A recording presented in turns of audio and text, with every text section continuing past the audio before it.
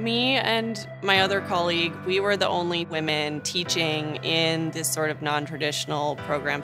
And we just felt like there was this need to bring women together to support them because we saw them struggling in our programs. So we developed Shift. Over the years, it's having a growing impact on campus. So, SHIFT stands for Students Helping Build an Inclusive Future for the Trades.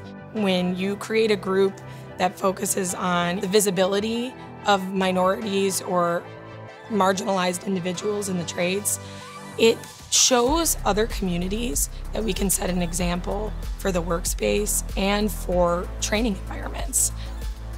Just being a woman in the room is a support. The more women we get into the field, the more the industry changes. Throughout my career, um, I've never had a direct supervisor that was a female. And when I came here to Bellingham Technical College and I realized that not only was I being hired for this position, but my colleague was also female as well, it was really empowering to see that not only is the industry starting to move towards more equitable practices, but so is academia and so is training. My first welding instructor was also a woman, which I found very inspiring, and I feel like that's one of the reasons that I stuck with it.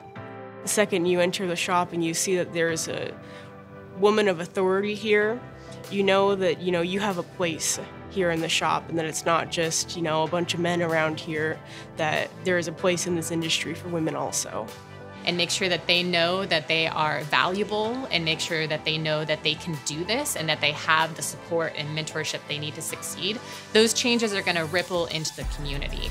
Women aren't just going into welding, women are going into HVAC, women are becoming electricians, women are becoming mechanics, and I think that's a really special thing to realize. This is the place where those changes in the industry are made.